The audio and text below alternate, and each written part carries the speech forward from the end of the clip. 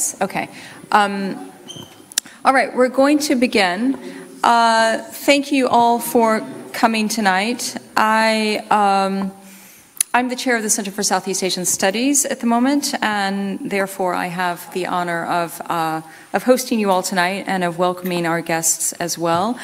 Uh, what I, so tonight's event is, carries the title of uh, of Vince Rafael's paper called Humanizing the Inhuman, Photographing Death in Duterte's Drug War. Uh, what I will do is first introduce Vince Rafael, our speaker, and then we will show a short film, and then we will have a panel of respondents and I will introduce the respondents at that moment after, after Vince's talk. So here, here goes. So uh, Vince Rafael is the Giovanni and Ann Costigan Endowed Professor of History at the University of Washington in Seattle. Uh, he is the author of several works. I will name a few of them here. Um, both very well known in Southeast Asian studies, I should say. Um, Contracting Colonialism, White Love, and Other Events in Filipino History and the promise of the foreign and motherless tongues, the insurgency of language amid wars of translation, uh, many other things bubbling around, but I'll, I'll leave it at that um, so that we have enough, enough time to listen to uh, Vince's recent work.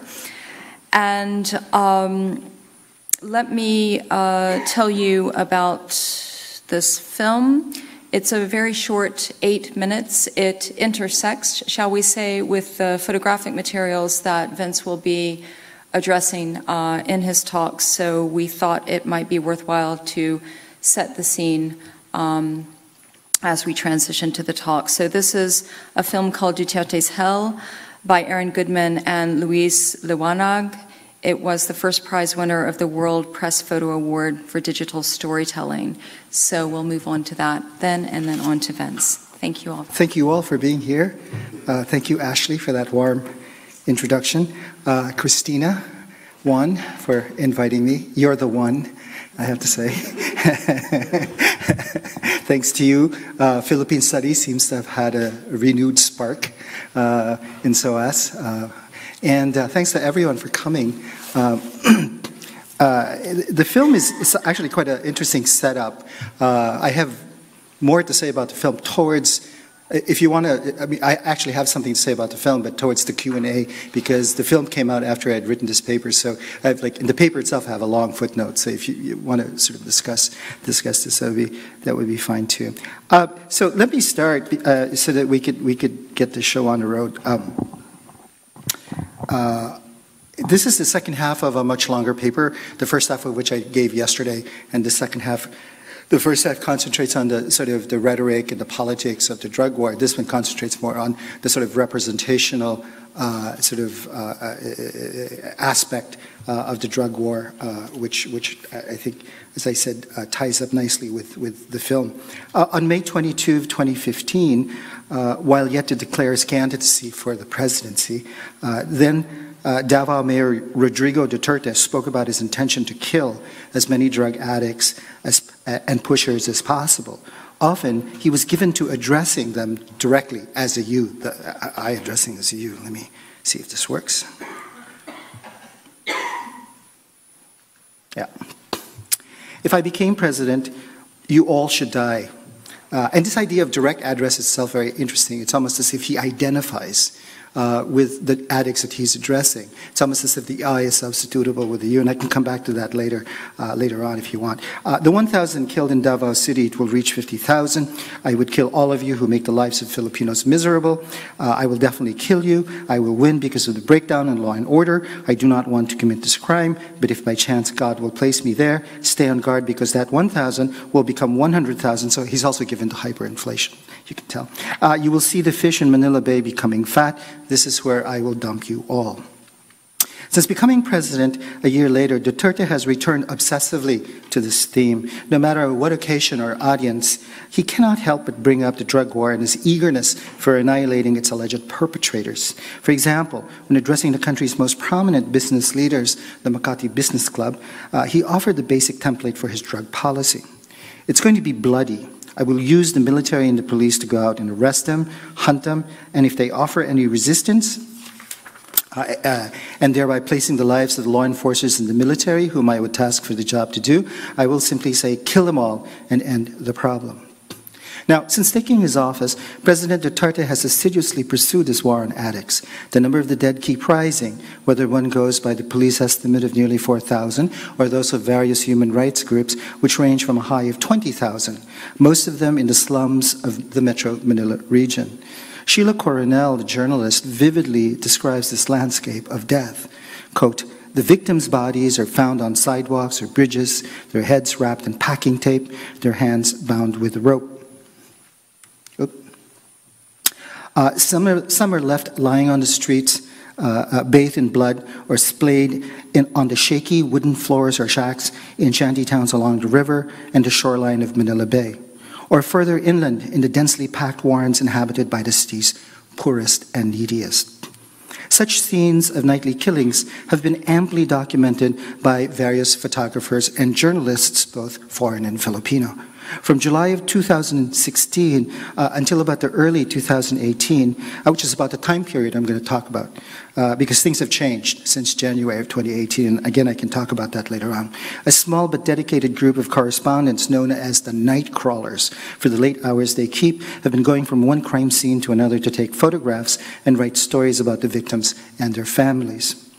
Serving on the front lines of the drug war, they have witnessed the bloody toll of Duterte's necropolitics. Thanks to their work, photographs and stories of the dead and their families have circulated wild, widely around the world, showing viewers the extent of the regime's brutality. In what follows, I want to ask about the complex nature and ambivalent effects of their photographic work. I want to start by looking at the experience of the photojournalists themselves as they come into the crime scene. In various interviews, they often speak of being overwhelmed by what appears before them. What they see often outstrips when they could possibly know, much less talk about. Experience and expression are torn apart, the latter exceeding the former. Carlo Gabuco, for example, says, There's always a moment of disbelief whenever we go into a crime scene and see the victim for the first time, see how they suffered at the hands of their killers. From Alex Ann Arumpak, Recently, I've been having many breakdowns, and I'm wondering why I'm always crying. But then I realize as well, actually, this is bigger than me. This is not about me. And Dondi Tawatao remarks, You really think about what those images might do to you. It was only later, around November, that I felt ill. At one point, all my dreams were about crime scenes. I was about to check myself into a hospital because I was having coughing fits. We lost something here in the drug war. I am still grappling with what it is we lost. Faced with the scene of the crime, Photojournalists are struck with disbelief and confusion. They apprehend more than they can comprehend, and so don't exactly know what to think about what they are experiencing. This radical gap between what one experiences and one's ability to narrate it is usually referred to as trauma. A chasm opens up between what happened and one's ability to make sense uh, uh, of it, as in, for example, accidents. This failure to conceptualize what one sees and feels results in being struck numb or ill for days on end. One replays the experience rather than finds a way to frame it and set it aside. Trauma, by making speech difficult, if not impossible, compels instead the repetition of the event rather than its representation. In a traumatized state, one is unable to distance oneself from what one has gone through. And so one, one finds oneself divided against uh, oneself, unable to judge, much less think rationally. One is contaminated by the, what one sees and forced to relive its violence again and again. A nagging sense of loss persists, made worse by the fact that one is uncertain as to what exactly was lost. Arising from a crisis of experience, trauma disables photojournalists from doing what they are supposed to do. Cover the event by rendering them by, by, rendering it into the true account of what actually happened. This disability however is only temporary. Subsequent interviews with photojournalists show a pattern for dealing with trauma and recovering what was lost in a society where therapeutic practices for dealing with trauma are largely absent or inaccessible to all but the wealthiest Dealing with trauma comes in different ways. In the case of the night crawlers, they speak about fostering a strong sense of camaraderie. Unlike other professional journalists who may compete to outscoop one another for a story, those covering the drug war talk about the deep horizontal ties, analogous to that of veteran soldiers who had fought through many battles, feeling as if they were part of what they call a mutually supportive tribe. But while important, such friendships require something else, a, a supplement, as it were, that might allow the traumatized self to recover. This entails reconceiving oneself not simply as a passive observer, but more important, as an active witness to the events that it covers. the acts of witnessing converts the photographer's work into testimonies of injustice. But in the process of witnessing, photographers invariably do something else. They turn to the survivors of the victims and join them in the labor of mourning their loss witnessing as a cure for trauma is then retrospectively associated with friendship and grieving alongside the practice of truth telling in the face of extrajudicial killings.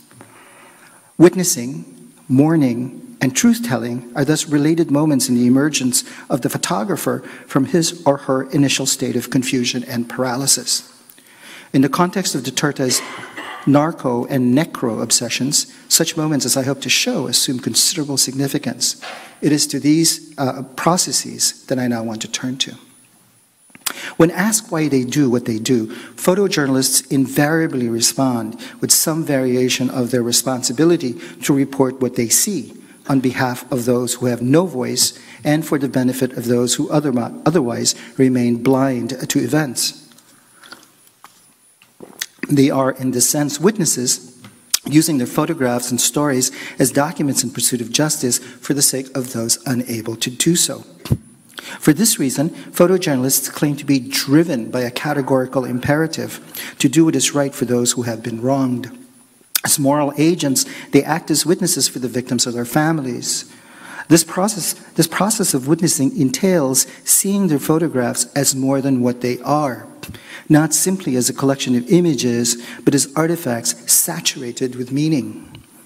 Indeed, the responsibility, as they understand it, begins by being able to look beyond appearances, to see photographic images uh, as necessary but ultimately dispensable means of getting at something like truth and justice.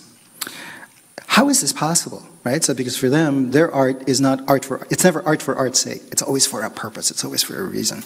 How is this possible? How does one move from taking photographic images to espousing moral ideals, given that photography is precisely about the conversion of reality into appearances? How does, the how does the photographer go from becoming a technician who captures images to an advocate for the subjects of his or her photographs? And who are these subjects, especially the dead victims captured on camera without their knowledge or their consent? What is the relationship between the photographer, the corpse, and their survivors as they appear before the camera? What role does the camera itself play as a technological and therefore non human apparatus for documenting the dehumanizing effects of war? What is the place of the camera in the formation of the photographer's sense of his, her, or her own humanity predicated on his or her moral agency. Now, as I mentioned earlier, photographers think of themselves as witnesses. Becoming a witness, however, does not happen automatically. It comes in the wake of their initial shock at, the, at arriving at the scene of the crime. To become witnesses, they need to interview other witnesses to the crime. This is because, as Jes Aznar tells Vice News, Journalists are forbidden from accompanying the police during operations. Quote, we only get to cover the event after the fact, when there's a dead body, after the gunfights, close quote. To get the story, they need to ask the people in the area whom they have, uh, who, who may have witnessed the killing. Funeral parlors are particularly helpful since they are among the first to know uh, if there is a body to be picked up. And this is because cops and funeral parlor, parlors have a, an arrangement. Uh, cops call in a dead body and then they get a commission in return. Uh, and this is partly because there is no city morgue in Manila, and so all the bodies get to be delivered in private funeral parlors. Uh, and, and there's a whole monetary sort of aspect to this that, again, I can talk about at the end. So they'll call us, the funeral parlors, or text us and say, hey, there's a dead body in this area. We're going to be going there to pick up the body. Police are interviewed along with neighbors, bystanders, and family members when they are not too distraught to talk. In short, journalists and photographers can only become witnesses by talking with other witnesses. Their telling grows out of a series of other tellings as they become a link in a chain of witnessing. As witnesses to other witnesses, photographers are twice or thrice removed from their narrative. However, unlike their stories, their, their photographs are able to capture images of the first and the last witness to the death of the victim, and this is the body of the victim itself. Some of the most arresting and oft-reproduced images of the drug war are those of the corpses, as you saw in the video as well. Bathed in the light of street lamps and police cars, corpses appear as the most dramatic manifestations of the drug war. They testify to the violence of the regime as they represent the fulfillment of Duterte's most cherished wish of annihilating addicts. Indeed, this is the point of wrapping many of them in packing tape and leaving cardboard signs, pusher ako, wag tularan. I am a pusher, do not imitate me. Displayed in public, they are meant by the police to be discovered by the people and the media. The corpses become texts, testifying to the power of the state not only to get rid of those it considers socially dead, but also to extract their capacity to access a realm beyond the living. Thus is the corpse indentured to serve as a sign for the state's ability to overcome and appropriate the power of criminality for itself. Bound, packaged, and labeled with signs, the victim's displayed remains the, the victim's displayed remains are reduced into instruments with which to enact and transmit the will of the state. it is a familiar tactic as old as public crucifixions, hangings and the display of decapitated heads on spikes along the roadways from classical antiquity to the early modern period. The body of the Shabu addict is the figure which, as Giorgio Agamben might say, can be killed, but whose death would not amount would amount neither to murder nor sacrifice. The exposure of the corpse to public view is a way of including what has been excluded by the state. It marks not just the boundary that separates the social from the antisocial, the corpse, from the perspective of the state, is a concentrated point from which radiates sovereign power. It is thus used as a stage to display the basis, the very basis of state power itself, which is the power to kill, from which comes the sovereign's power to keep others alive. But is this the only way the corpse can serve as a witness? is it simply a prop for announcing the terrible power of the state? Or does it also function in ways that can undercut the state's claim to instill fear? Do the, photo, do, do the photographs of the corpse also bring out a different and more unsettling power? The images and accounts of photojournalists indicate a different relationship to the dead. The strange agency of the corpse, its capacity to testify to its demise and act upon the world in the process of having escaped from it, is evident in various interviews. For example, here are two remarkable stories of encountering corpses told by one of the most famous photojournalists in Manila, Raffy Lerma. So, two stories. Let's show the first one. This is the first one. Oh, I'm sorry. Here's some more grisly pictures. More grisly pictures. Uh, so here's the story of Raffy Lerma. Quote, it was my second night on the night shift, and I remember this as something that had a real impact on me. There was another extrajudicial killing, a body wrapped in packing tape. When the police were cutting the tape, unfortunately, I was using my zoom lens and was focusing on the face. When the tape was removed, I saw the expression on the face. He was staring at me. His mouth was open. I was terrified, really terrified, because it was like I felt his last moments. How he died, like he was gasping for air. The feeling you get when you're being buried alive. That at first you lose all light, then all air. I felt that for, so for a time, I didn't take any more photos like that. Or if it's an extrajudicial killing, I don't focus my, my camera on the faces. The sight of the corpse simultaneously invites and repels the gaze of the photographer. And I'm assuming it looked something like this because this was a photograph he himself took.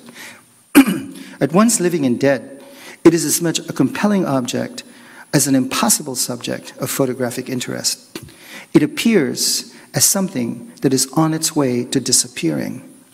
As the materialization of death's arrival, the body of the victim is the something becoming nothing that nonetheless continues to be in the world. It exercises an uncanny power as it occupies the radically undecidable border between the living and the dead. As such, it is the embodiment of the inhuman in two senses. One, as a recipient of a deadly force, and secondly, as an envoy of what remains outside of the social. It is precisely the uncanny power that confronts Lerma. Seeing the face of the corpse emerging from the packing tape, he is seized with terror. He sees on its face, quote, its last moments. Its expression, mouth open as if gasping for air, testifies to its ongoing disappearance.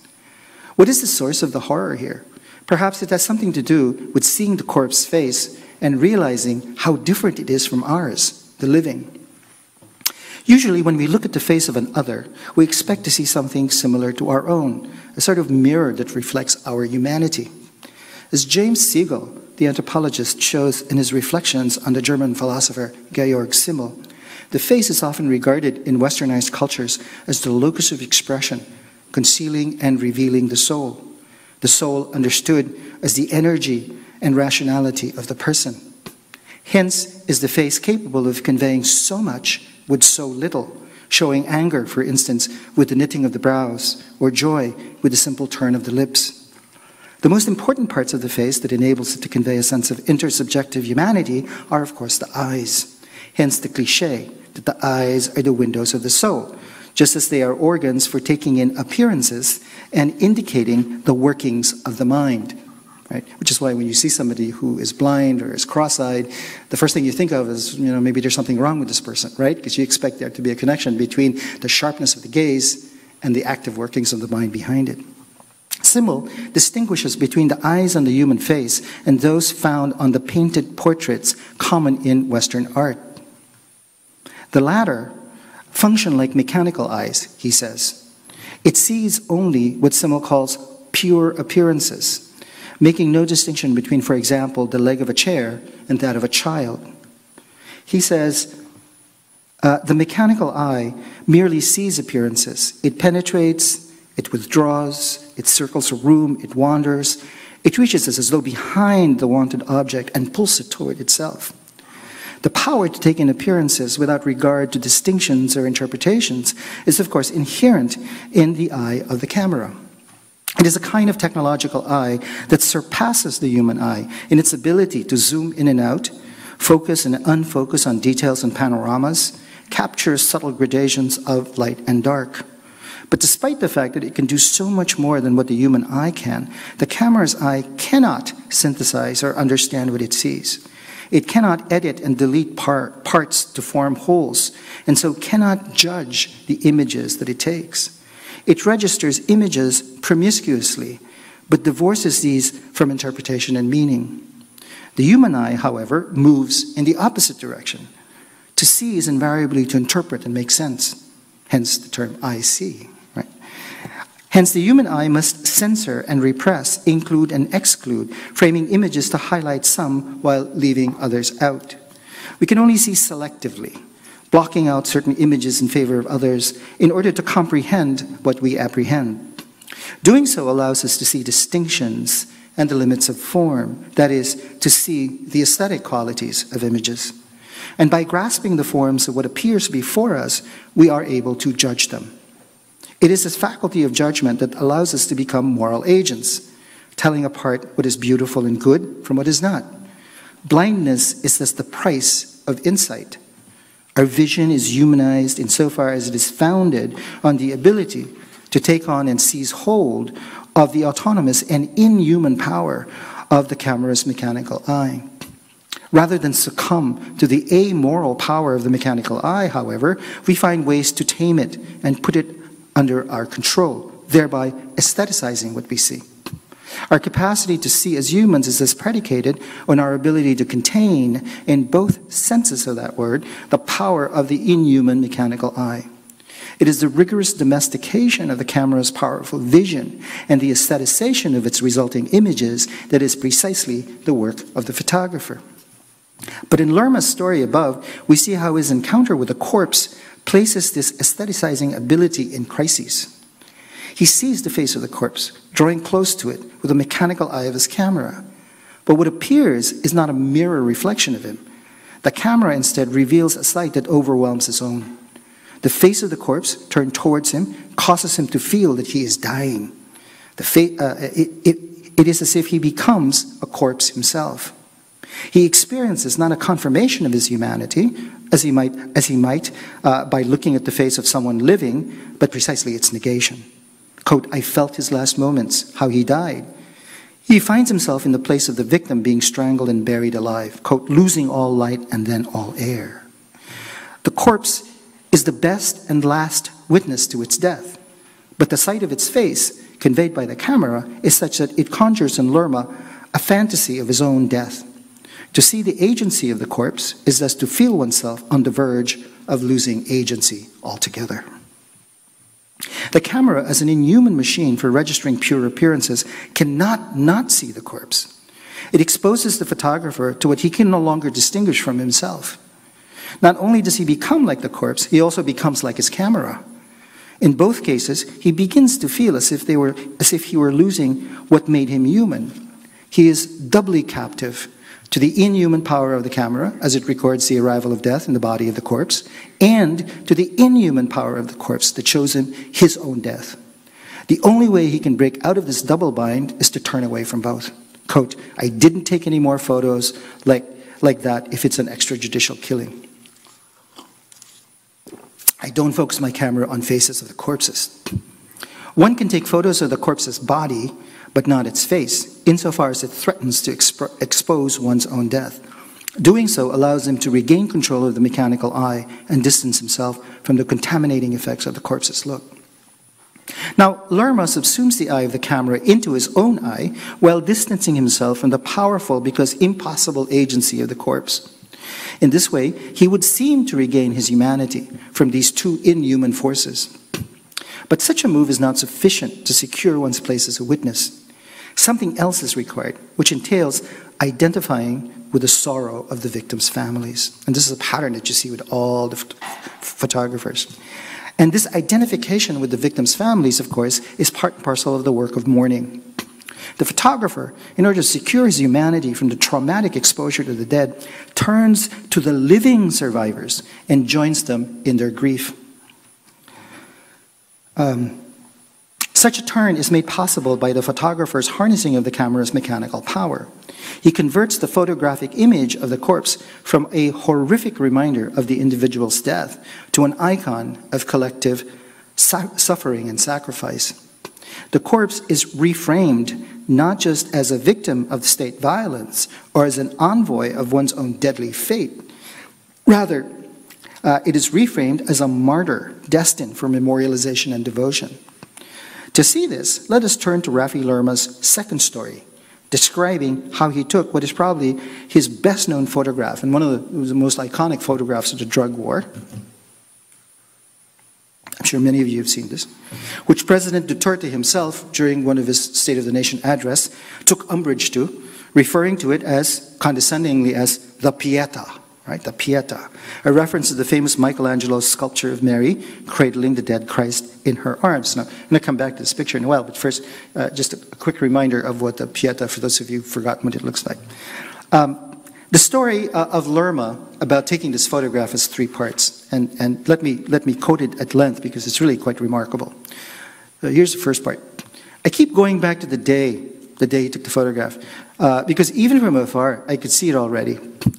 This was a picture. This was a picture. This is a very strong picture. It was the way she was holding Michael Siaron. She was cradling him. The first time I had seen anything like it out in the open.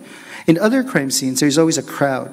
But they, but they, that is in this case, they were secluded, separated from the crowd because they were inside in the middle of the police cordon. Actually, it looked staged uh, because there were lots of television lights and they were in the center. But what is imprinted in my mind is Olayres screaming for help. I felt like we were vultures. She was screaming, Help us, we need to bring him to the hospital. And we were there just clicking and clicking. And in fact, if you see some of the videos uh, of the coverage, uh, one of the most amazing sounds is the sound of the cameras going, right? Uh, keeps going. Uh, second part. As photojournalists, we're always looking for those strong pictures. We know these photos and would really, we know these photos would really make an impact. And we have to take, and it's sad to say, it's really sad to say, we have to take advantage of it. And, uh, but, but, as we, uh, but, but we just have to do our jobs. And our job is to share these pictures and convey their messages. All of us felt so heavy, but still, when we saw the photos, we thought, shit, this is strong. Third part. We went to the wake four days after, right? So there's the turn to mourn with the family. We went to the wake four days later. The first time they refused to let us in, but I saw a newspaper with my photo on the front page, so I took it in and I introduced myself to the father. Sir, I was the one who took that photo. So the photo becomes his entry card, right? I was the one who took the photo. And the father, Michael Siaron, said, Oh, we've been waiting for you to come for some time. When I heard that, I felt lighter. He introduced me to Jenilyn Olayres. I told her I was sorry, sorry that we behaved like that that night. Please understand what our work is. She didn't say anything, but she held my hand. And I guess she nodded and she cried, and I think she got it. She saw the public reaction to the photo. I felt my heart was lighter. In the earlier story, right, Lerma relates being traumatized, right, when he sees the face of the corpse. He has a foretaste of his own death when seeing the face of the corpse. It is as if he looked at death in the face only to realize that his time had not yet arrived. It's like, whew, that could have been me, but thank goodness it wasn't me. So he escapes to tell the story of his fear and subsequent recovery of himself after literally facing its possible demise right? So it's what some people would, would call uh, uh, an experience of the sublime, right? Because that's what the sublime experience is. You come close to a death-like experience, and then you uh, escape it, and then you live to tell its story. In this second story, it is not a matter of facing the corpse. Unlike the first story, the victim here is named Michael Siaron, and in other accounts, he is identified as a tricycle driver. When Lerma arrives at the scene, it is already cordoned off and spectacularly lighted, as if it were being staged. So here it is again. Even more important, the body of Siaron was being cradled by his partner, Jenilyn Olayres. The crime scene had already been set up, as it were. Its aestheticized appearance readily apparent to the photographer's eye. That's what he kept saying, it's a strong picture. Whatever menacing potential the corpse may have had was now safely contained both by the police cordon and the arms of Jenilyn. So there's multiple mediations of the corpse, right? As is seen, its aesthetic qualities were already obvious and needed only to be recorded. How so? In other accounts of the story, Lerma, in fact, alludes to the scene as if it were a picture of the sculpture of the Pietà. And this is how the picture has come to be known, the famous picture of the Pietà. What makes this photograph so compelling is that the corpse uh, appears as if in the pose of a martyr. This is suggested by allusions to the dead Christ and, of course, saturated by a Filipino historical consciousness shot through with Christian narratives about martyred national heroes from Jose Rizal to Ninoy and Cory Aquino. Those of you familiar with Filipino history will know this. You cannot be a hero in the Philippines unless you are a martyr. You have to be shot, you have to be killed. Uh, heroes in the Philippines are never conquering heroes. Heroes in the Philippines have always been victimized and conquered, right? Because then they can be turned into martyrs that you can then pity and then mourn. Shot from a particular angle, it appears as if its abject body had been sacralized by death. Here's another angle of the same photograph. Other photographs of the victims similarly draw from this iconography of Christian martyrdom, showing them cradled by loved ones or mourned by family members. Here's one by Noel Celis. There's one where this is interesting because it's almost as if the, the light is coming from the face of the corpse. This one is almost like Caravaggio. And when I saw this, I thought, oh my God, you know, this is Renaissance, right? And here's another one, right? Two different photographers. It looks like it's the same photographer, it's actually two different photographers. Others are shown laid out with their arms spread as if they were being crucified. Here's one. Another one. Uh, Another one. Another one. In nearly all cases, the photographs are lighted in ways that bring out their chiaroscuro quality. The effect is to frame the victims and their survivors in a kind of sacred space, surrounded by darkness while embraced by a halo of light reminiscent of Renaissance paintings. Now, in the Abrahamic tradition, martyrs are, of course, synonymous with witnesses. The word martyr itself comes from the Greek martus, which, quote, signifies a witness who testifies to a fact of which he has knowledge from personal observation. Martyrs are commemorated precisely as models of fidelity and courage. And their fidelity and courage comes from precisely bearing witness, right? So having a message to which they, they're willing to die for, as it were. Uh, depictions of martyrs are integral to the designs of churches, starting with the crucified Christ in all his bloody glory. Here, the famous one of, of uh, I think it's Mantegna, right? And uh, uh, Grunewald, many, many others you can go back to. But these images of death, meant to inspire the faithful, are all artfully rendered. Uh, and this is from a book about uh, uh, Romania. we were there last summer, so I, I, thought I'd throw that in. Uh, what, whatever horrible death, in particular, martyr may have suffered, is softened and shaped by colors and lines that lend them a specific identity, distinguishing them from other angels and saints. To be devoted to such martyrs is to emulate, therefore, the power of their witnessing beyond death. Right? Now, by composing wittingly or unwittingly, and I think for the most part it's unwitting, right? It's unconscious that they do this. Photograph the photographs of cor corpses, uh, uh, by composing wittingly or unwittingly, the photographs of cor corpses as if they were martyred, surrounding or supplementing these with photos of their grieving survivors, photojournalists set up a kind of sacred tableau that tames the trauma induced by the crime scene. It turns the nightly occurrence of violence into a narrative of injustice directed at the poor by those who are powerful. Such photographs make legible death as sacrifice, and the family suffering as mourning as, as a mourning designed to commemorate the dead. So again, it moves in the opposite direction as the police narratives, right, which doesn't see it as a sacrifice or murder, uh, but see it as a form of justice, right? But this moves in the opposite direction. We get a sense of the, uh, of the conversion of the uncanny force of death into a narrative about martyrdom in the texts that accompany the photographs, either as captions or as more extended narratives. Such texts focus on the singularity of the victim, and I wish we had more time because we could go through the different write ups of these photographs. It's very elaborate, very, very moving. Such texts focus on the singularity of the victim, beginning with its name, age, occupation, recounting its relationship to its family and community. Quote, I try to rebuild the person. I take the corpse and reimagine the man, close quote, says the journalist Patricia Evangelista. Laid out in a casket, a smiling picture of the person is usually placed on top while the corpse itself is made up to look like an image of itself while still alive. In this way, funeral wakes seek to recuperate a semblance of the dead's dignity denied to it by its killers. Rather than trigger horror, the corpse on display instead stirs memories among the living, allowing them to tell stories apart from its murder. In this sense, are they remember, in this sense, are they redeemed? The fact that their deaths could be converted into a narrative of who they were, given a biography and so forth. In this sense, they are redeemed, their humanity brought out by their victimization. In what amounts to a kind of secular hagiography, they are memorialized by journalists and by joining the family in mourning the dead, photojournalists momentarily become related to the relations of the dead. Both are joined by a common witnessing that runs counter to Duterte's call for the victim's defacement. Now, attempts at rehumanizing the dead and the living, including the ranks of the photojournalists themselves. After all, this is not just about rehumanizing the survivors and the dead, it's also about rehumanizing the photographers themselves who have become traumatized, right? Uh, that these attempts are not always definitive. They are at best episodic and uneven. We get a sense of this if we turn to Lerma's story again uh, that we looked at, the second one. Midway in the story, Lerma admits somewhat ruefully, quote, as photojournalists, we are always looking for those strong pictures. We know, what, we know these photos that would really make an impact, and we have to take, and it's sad to say, we have to take advantage of it. But we just have to do our jobs, and our job is to share these pictures and convey their messages.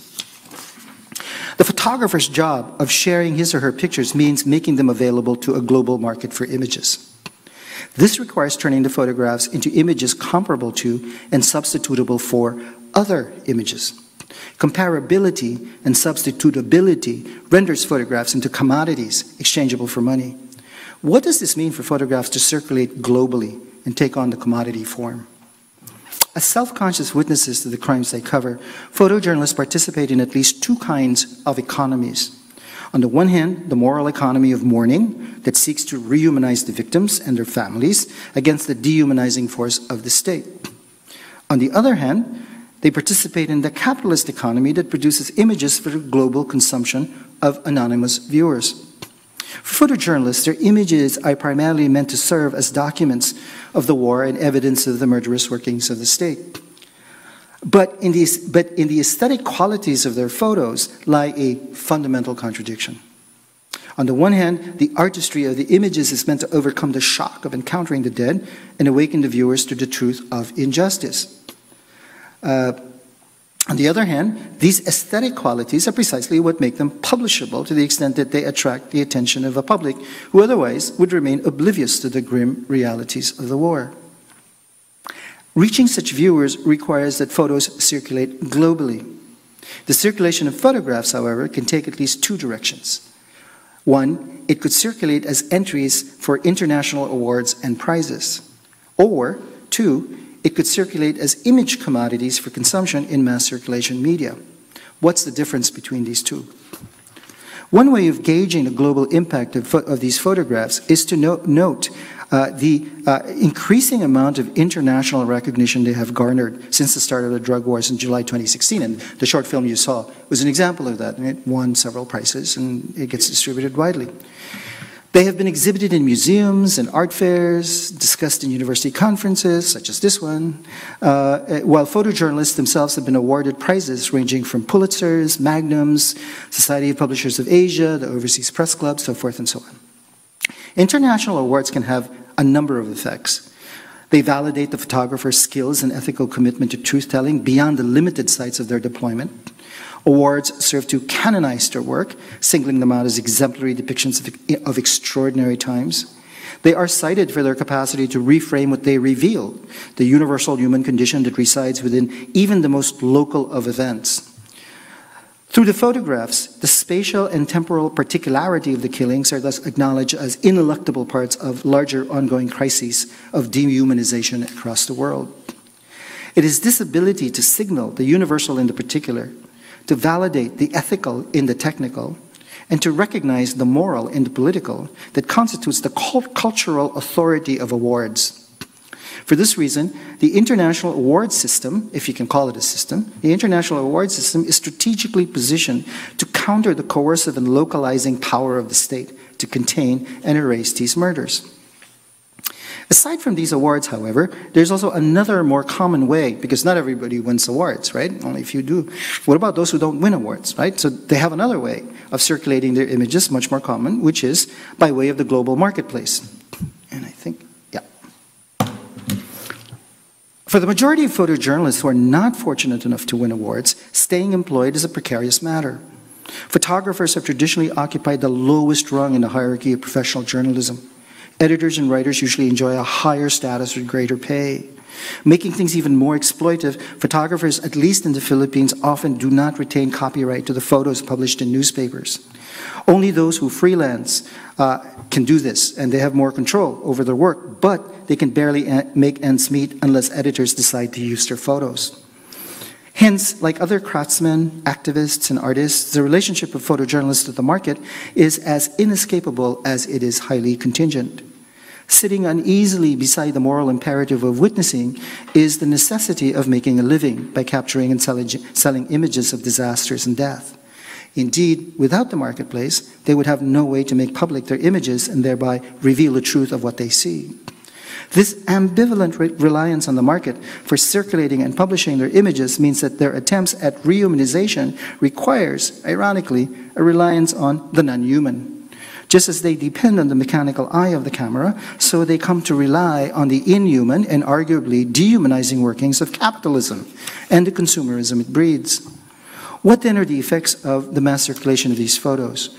How does mass consumption mitigate and obscure the very truth that photographers wish to reveal? Photographers, taking on the difficult assignments, end up supplying what, again, James Siegel, to refer back to him again, refers to as the ever expanding taste for images of disaster. It is a taste that is steadily cultivated and marketed in the vast media industries of Hollywood, for example, with endless films about extrajudicial killings, apocalyptic wars, and the slaughter of assorted aliens. That's why I hate watching Hollywood. In this sense, the labor of photographers, not only as uh, the, in this sense, the labor of the photographers not only has an emotional aspect, as seen in the trauma that many of them go through, it also has an inescapably commercial one. For this reason, attempts at rehumanizing both the corpses and themselves remain at best fragile and incomplete. By virtue of their conditions as workers and entrepreneurs, they are compelled to convert their photographs into commodities. The mass circulation of such photos has uneven and ambivalent effects. On the one hand, they expose different audiences, both local and international, to the horror that attends the sight of corpses nightly laid out on the streets. Such images may initially produce revulsion, leaving viewers speechless in the face of what they see. On the other hand, anonymous viewers eventually come to think of these photos as photos, not as traces of people who were once alive. As photos, representations of the dead become substitutable with other photos of other dead or injured bodies in many other places and many other times. That is, they are subsumed as commodities exchangeable with other commodities. When we, whoever we are, consume photos in this fashion, as photos that are similar to and interchangeable with other photos by virtue of their exchange value, we as viewers begin to get over our initial shock. Though we may still feel disturbed every time we see them, the aesthetic quality of the photograph and, and the mediation of the marketplace tend to inoculate us from the trauma of witnessing the crime scenes. Likewise, we are spared the obligation of having to attend to the suffering of the survivors. At a distance from what we see, we can set aside the photos on our screen or newspaper and get on with our day by, for example, scrolling down to look at other kinds of images or simply moving on. We do not have to hear the piercing cries of the families, or at least can mute the sound in the videos, nor do we have to join in the extended work of mourning that at times escalate into larger calls for accountability. Rather than mourn, we consume. Soon enough, one corpse begins to look like any other, especially once these are composed artfully in photographs. Similarly, their families, drenched in their grief, now also begin to look like many other families in similar straits. As we saw, mourning entails the emergence of, of, a collective sense of obligation to lay the dead to rest and shore up the line that divides the living from the dead. The conventions of mourning entail the work of restoring the integrity of society and the dignity of the individual. Consumption, by contrast, does away with this labor. Instead, consumers regard images in, of the dead in a state of distraction. Certain images may come across as arresting, provocative, even unbearable, but they are soon replaced by other images. Substitution here is mechanical, not the psychic process associated with mourning that entails considerable emotional investment. The singularity of the corpse while alive and the particularity of the family's conditions melt into the air of the marketplace. Commodification thus places photojournalists in a double bind. Their moral claims come to depend on an amoral process. Their photographs reach a wider audience, but at the cost of compromising their ethical and political commitments. Similarly, this commodification affects our ability to respond to these photographs. Once commodified, such images tend to habituate us to views of state violence, just as they would seem to normalize the sight of the corpses, making them seem passe. What is painful is converted into mere appearance, one image mechanically registered and consumed, soon to be replaced by another similar product. The novelty and shock, shock effect of photographed corpses soon wear off. As such, the potential of these photographs as critiques of official impunity are compromised by, even as it is contingent upon, their circulation as products for mass consumption. For just as aestheticizing the dead can rehumanize the victims by making them, to use Judith Butler's term, grievable, so too can it make for renewed indifference that forecloses the potential for political action. The global circulation of such images can also result in their overexposure, making what was once obscured into something obvious. Ironically, even easier to bury, uh, and ironically, even easier to bury like the corpses they depict. So in this way, the, uh, the photographs, uh, as we've seen, and one of, one of the underlying arguments here is the, the, the photographs and the corpses resemble one another, right? They trigger shock and induce mourning. But once they become representations, right, uh, photos also ensure the forgetting of the dead. Now, by way of conclusion, I want to bring up one more thing, which is the matter of haunting. How does the return of the dead uh, among the family of the victims differ from the return of the dead commemorated by the photographs. Right? There's two kinds of returns. I want to distinguish between the two. With so much death happening on a nightly basis, we might expect there to be a proliferation of ghosts as well as ghost stories. This is the case with the families of the victims. They often talk about expecting the spirit of the dead to return, usually three days after their death. They look toward the spirits coming back with great anticipation. Families want the spirit to reassure them that they are in a good state someplace else. For example, here's a story about Ricardo, who was killed in Pasay in the early part of 2017. It's a picture of a, uh, wake. During his wake, Joy, his sister, waited for the feeling that Ericardo's ghost was with them. She posted on Facebook, of course, right, asking if anyone had had contact with Ericardo. No one. Uh, no one had. I was annoyed with him, she said. It had been six days and he still hadn't made himself felt. It wasn't until the day before his funeral that she felt him at a convenience store near the intersection where he worked, the last place where he was seen alive, climbing onto the back of someone's motorcycle. That night, Ricardo visited Joy in a dream. He was smiling, she said. Uh, when, he, when she consulted the local spiritista, an old woman who communes with the dead, the woman told her that Ricardo did not want the family to suffer.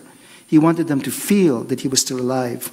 It gave her comfort to know that Ricardo was not an angry spirit lingering in this world, unable to accept his own death and demanding vengeance. It was just like him, Joy said. He was always easygoing. Still, one more dream Joy craves. I want to dream about the night he was killed, she said. I want to stab the person who stabbed him so I can finally defend him, even if it's just in her dreams. A dream of vengeance may be the nearest thing since joy and others, uh, the joy and others can hope for. Few of the killers are ever caught. And uh, here is joy right there. Here, the dead returns, and it's kind of interesting because it's a story about a family who lives, they're uh, a family of squatters who live in the cemetery. So it's ironic that, you know, they deal with the dead in this way. Here, the dead returns not to ask for something, but to fulfill the wishes of the living. In other contexts, uh, many, for example, Southeast Asian contexts, spirits usually return to possess the living, causing them to fall ill. Curers are then asked to speak with these spirits and give them a voice.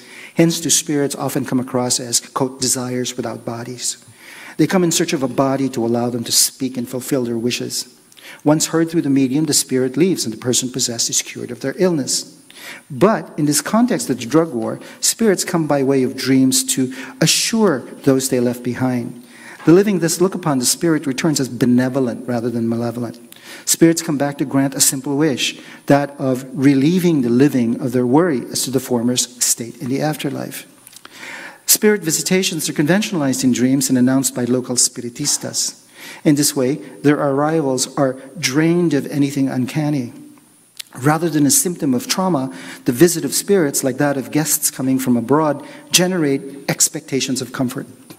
Such a return helps complete the work of mourning and give the living the sense that the dead are truly dead, located in another and better place apart from the living. But while a dream about the spirit of the dead may alleviate the grief of the living, it does not result in a sense of justice. As Joy's uh, account shows, she wants to have another dream, not about Ericardo, but about, the, but, about his killer. She wants to see what Ericardo saw his own death at the hands of the murderer. Quote, I want to dream about the night he was killed. She says, I want to stab the person who stabbed him so I can finally defend him. Here, the living is left with a sense of lack. She wants what the dead no longer cares for revenge. Her dream, she hopes, would let her become a witness to her brother's death. In this way, her dream acts as a kind of camera, allowing her to see the corpse as it registers the image of its killer at the moment of its death. Like the photojournalists who see their task as one of witnessing, Joy sees her dreaming as a way of seeking the truth about her brother's demise. For her, seeking vengeance would be a way to defend him, that is, to respond to his killing in kind. This is how she conceives of her obligation and her satisfaction justice by way of revenge. In her world, where the poor have neither the means nor the energy to go through the legal system, much less file a case against those in power, dreams afford some measure of assurance and fantasies of justice in the form of revenge. Unlike photographs, however, her dreams do not lend themselves to commodification. They cannot be exchanged for money. Resistant to substitution, her dreams remains hers alone. Similarly, her brother's spirit escapes the pull of the capitalist marketplace and the violence of the state. It is not absorbed into the global realm of technological ghosts made up of other photographs, but returns only to his sister and perhaps to other members of the family. Coming from elsewhere, the dream pictures afforded by uh, the dead's return remain unseen and unseeable by us. Only joy sees them and holds them in reserve. That may not amount to much, but it is not nothing. It amounts to something, something perhaps impossible to calculate and command, something that President Duterte cannot kill, something that a camera cannot register, and something new neither you nor I can consume, much less appropriate. Thank you.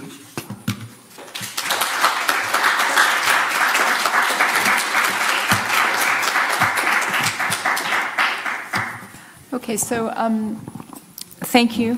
Thank you, Vince. Thank you Yeah. very much. I'm blocking you. No, no, but, um, So we, um, we- we'll have responses from three people. We haven't spoken about the order of response, so um, shall we just go one, two, three? Is that, is that okay? Yeah? So um, let me, let me introduce our speakers. First, we'll have uh, Veronica Pedrosa. Uh, Veronica is an award-winning independent broadcast journalist based in London. She began her career in 1995 as a news anchor with CNN International and then with BBC World. Are you stopping me? I don't need to say any of this. I'll keep going. She's also been a journalist with ABS, CBN News, and Current Affairs. And I will stop there, but I'll introduce all three of you first and go from one to the next, if that's okay. All right. Uh, so then we'll, we'll have Dr. Fenella Cannell, who is a reader in social anthropology at LSE. She lived for two years in the Bicol region of the Philippines, and her book, Power and Intimacy in the Christian Philippines, won the Benda Prize for um, a monograph on Southeast Asia in 2001. And our last respondent will be John Sidel, who is professor of international and comparative politics, also at LSE. He's the author of Capital, Coercion, and Crime Bossism in the Philippines, uh, the co author of Philippine, Philippine Politics and Society in the 20th Century, Colonial Legacies, Post Colonial Trajectories. And perhaps I'll stop there with the Philippine specific books, and um, I'll turn the microphone over to Veronica Pedrosa. Thank you. Thanks very much, Ashley, and thank you very much, Vince, for that um, amazing talk. Uh, so, yeah, I, the only reason I kind of interrupted was because I started my career actually in 1990 with ABS CBN. Ah, okay, thank you. That's all right, with ABS CBN, and then I went on to CNN, and then the BBC, then back to CNN in Hong Kong, and then uh, I've been with Al Jazeera English for the last 10 years, and, and then I became freelance. I kind of couldn't hack it anymore. Um, uh, because of many of the things that um, Vince talked about just then, actually, that um, just really quite difficult to stay, to keep one's humanity um, in the middle of covering a whole, a very um, um, tumultuous time in Southeast Asia. And I moved back to London partly because I felt that I really wanted to live somewhere where I couldn't be put away or killed for something as um, minor as posting something on Facebook. I, I don't know what's happened to Southeast Asia. It's, uh, uh, you know, what happened in Malaysia, notwithstanding, um, a couple of days ago. Um, anyway, yes, um, my response to Vince would be um, to confirm, question, and um, deepen further some of the ideas that he brought up. Um, I was very um, taken by this idea of um, mediating, uh, viewing something as a human, as a journalist, for me also, as somebody who was born in the Philippines but grew up in London and then went back to the Philippines as an international journalist, because it's something that was quite, that uh, plays a very active part in the way that I tell stories. I need this to be as, um, this story to be as compelling to somebody in the Philippines who knows this story back to front, like Raffy Lerma, as it is to somebody in London who knows nothing about what's going on. And what do you end up with when you've only got two minutes? Um, it's, so it's, it's, a, it's, a, it's a something that is very difficult to do. Um, and especially it depends on who you're working for. For CNN, ultimately, it's the shareholders. Yeah? In, um, for Jazeera, it's something altogether different. For the BBC, it's another altogether different thing. And as a freelancer, I wanted to tell a story about um, a, an experience that I had quite recently, which is that I wanted to get deeper into um, what had happened to the Rohingya who are on the uh, border of Bangladesh now, having fled from what some people are calling, and I believe to be a genocide in Myanmar. And uh, I interviewed 15 people who had experienced a massacre in their village. Um, and their um, stories uh, to build a picture that I thought corroborated each other. And then they sent me pictures of corpses. And I said, and these are people who said they were his father, that, I mean, they were the corpse's father or the corpse's brother or whatever. And the, they were sent uh, not just from people in the camp who had fled what had happened, but also people who were still in the massacre site, living in the massacre site or what remained of it. And when I sent it to an editor to try and sell the story for a fraction of what I'd actually spent on the story, um, they said, um, no, these pictures first appeared in September 2017. I went back to the people in the village and said, Are you sure that's your son? And they said, Yeah, absolutely. And it clearly wasn't. So I couldn't sell, my story to that output. They just said, These pictures are false. We don't know what else is false. And we don't have the time or the money to spend any more on this. And that's kind of happened in the Philippines, I think. Like Sila Raffy and Luis and all of those guys are saying that the editors are sick of seeing the same pictures over and over again. And they're like, as you say, um, they've become uh, forgettable. These images of these, the people have become forgettable as a result of the commodification. So I, I would like to say that you know my experience bears that out. Thank you. because I've gotten a lot of grief from photojournalists for saying that. It's something that I wanted to bring up as well from, from photojournalists. So I went um, one night with the night crawlers, mm-hmm. and there are some of them whose names I will not mention here because I know that they are. Um, I don't, you didn't really bring it out, but they're under a lot of pressure politically.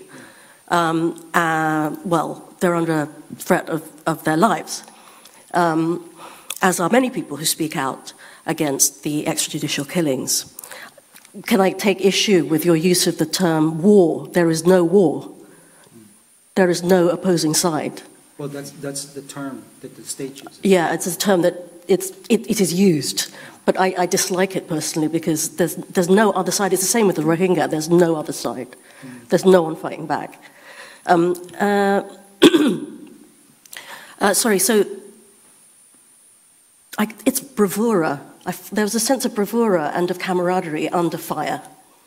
Nowadays, you used to be able to go to these um, crime scenes. You, you sit in um, the Western Police District station, well, I don't know what they call it now, Manila something or other.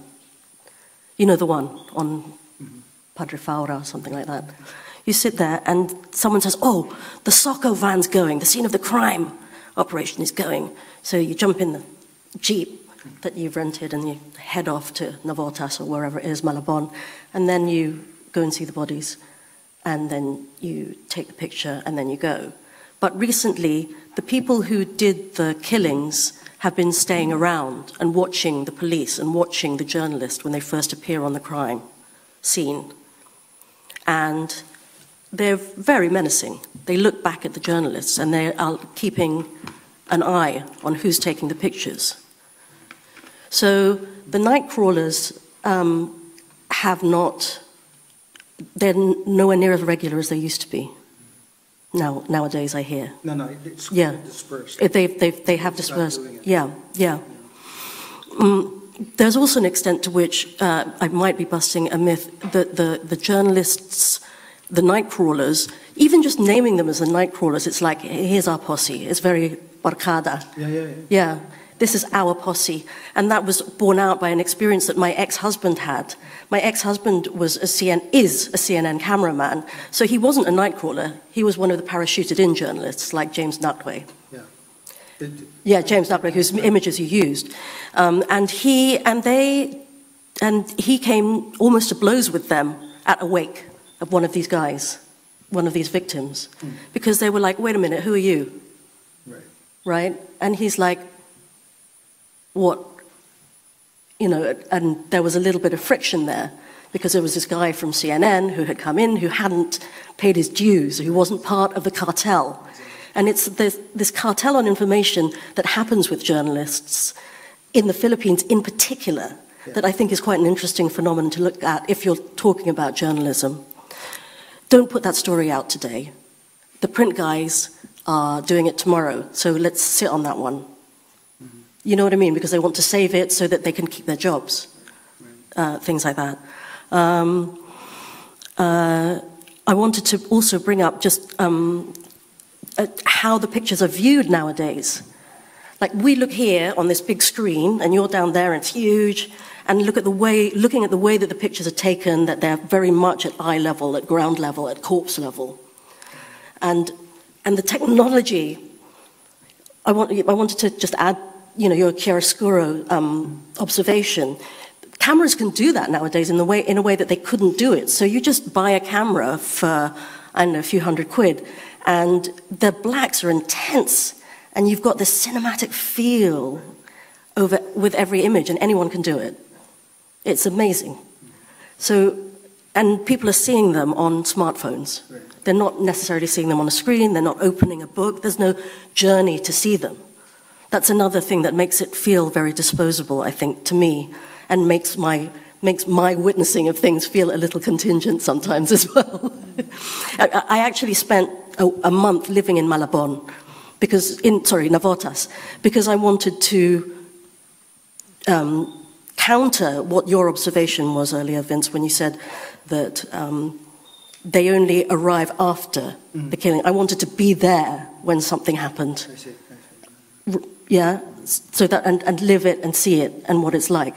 And a- actually, people there are very, you know, that thing, the, the, the cliche that people have about the Filipinos that they're so resilient. They're so happy in spite of the poverty. Um, uh, and and the, and they'd say what they said. They said was, "We never had justice anyway." You know what's? And by the way, we're on twelve thousand dead now. It was not seven thousand anymore. Yeah, yeah. Yeah, the latest figures are more like 20,000. Um, uh, and uh, I just tell a little anecdote to sort of supplement what you said, which was that there was, I met a guy who was involved in a sort of uh, mediation uh, consultancy thing. It's a Center for Humanitarian Diplomacy uh, or Dialogue. Yeah, those guys. Uh, one of those guys, and, it, and he said that he he read a story that day about an actor who was he was being filmed doing a scene in one of those subdivisions in southern Manila, like Alabang or something like that. And the security guard thought it was for real that a crime was being carried out. So he shot the actor. Yeah? And he was not, and it was like, I mean, what do you do with that in court? And there were so many things wrong with that story on so many levels, and only in the Philippines type Yeah, yeah. story. Um, but he felt that he was totally, you know, doing the right thing. That Krim deserves to die. Yeah, got on his little motorbike, shot him dead. Thank you. Thank you.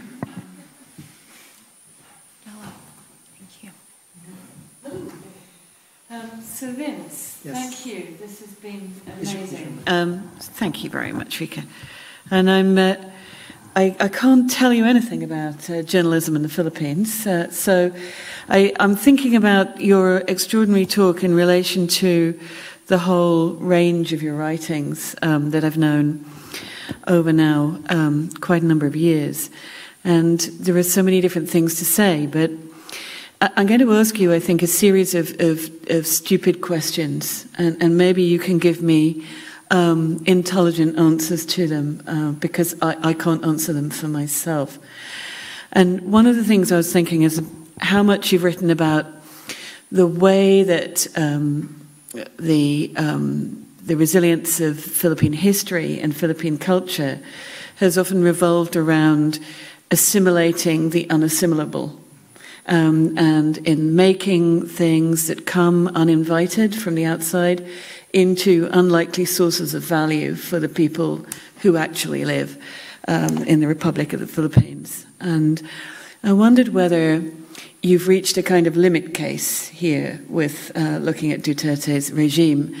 You know, I wondered whether there is anything one can do with a leader who just shoots 20,000 of his own voters and citizens one after another, um, or any way in which uh, such, a, such a person could be converted into a source of value for others, a source of, of resistance or political mobilization by those whom he mistreats. And um, I, I wondered if your, your focus on the stopping of language uh, was part of a, um, a, resonance there with your, with your wider range of arguments in which the capacity to, to use and um, repurpose and recreate language has been one of the sources of, of people's ability to continue in, in the accounts of work, uh, the accounts of the Philippines that you've given in your work. So here are some of my, my kind of silly questions. I mean, the stupidest question is, uh, what does this man think he's doing? Right? I mean, I, I just wonder in what way he sees his own political project in your mind at the deepest level, when, as you rightly pointed out, there is no way to really be a Philippine hero except by being shot yourself. You know, um, but obviously he's he's operating in this alternate mode. You know, the mode not even of the strong man, the man with many followers, the man of power, the man of of of of, um, of admirable heroic might, but simply the man who just kills person after person after person. So.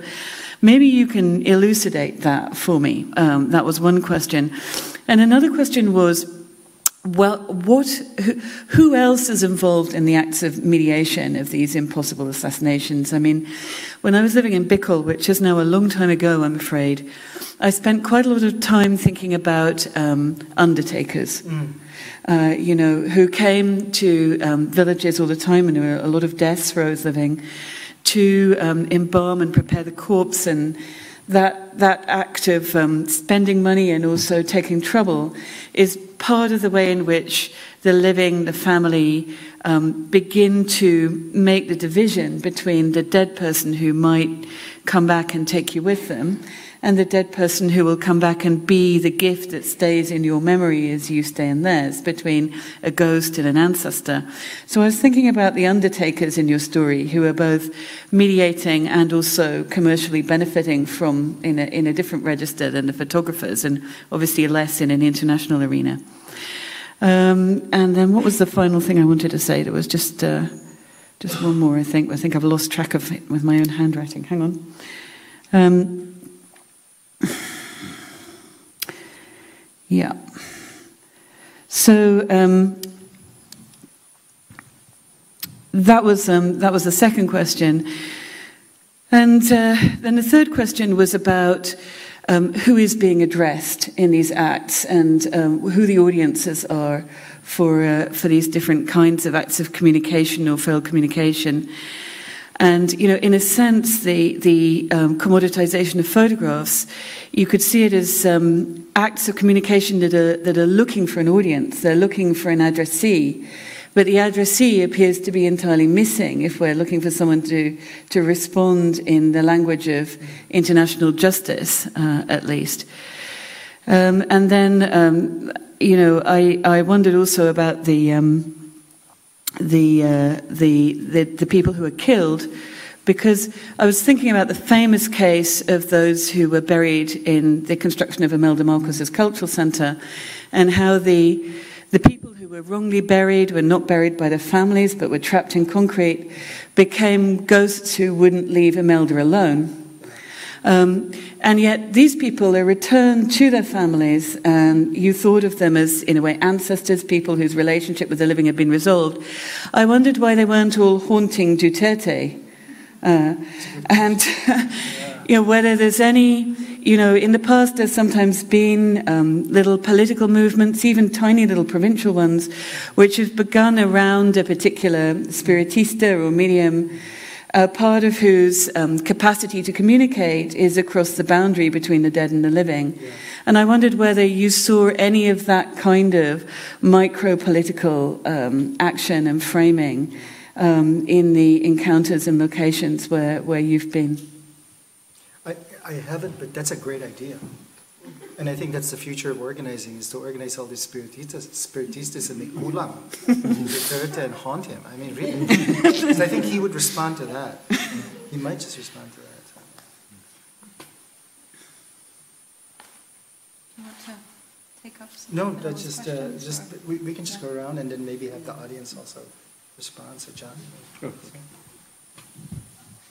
Yeah, as, as usual, there's uh, an enormous amount in Vince's talk to uh, think about and comment on. I, I, guess for me, what what struck me uh, as I was watching was this uh, returning sense of discomfort um, at the prospect of having to comment on um, uh, especially a, uh, as a foreigner who, an American who, who, travels frequently to the Philippines in comfort and security. Um, but, but to comment on Duterte and on this kind of politics in a way that doesn't you know, uh, fall into the trap of reinforcing and amplifying the kind of power that Duterte uh, exercises. And, and as with, say, Donald Trump, for example, this excessive attention to the individual um, and a focus on the personality uh, and the personal kinds of power that are, uh, are exerted by such individuals.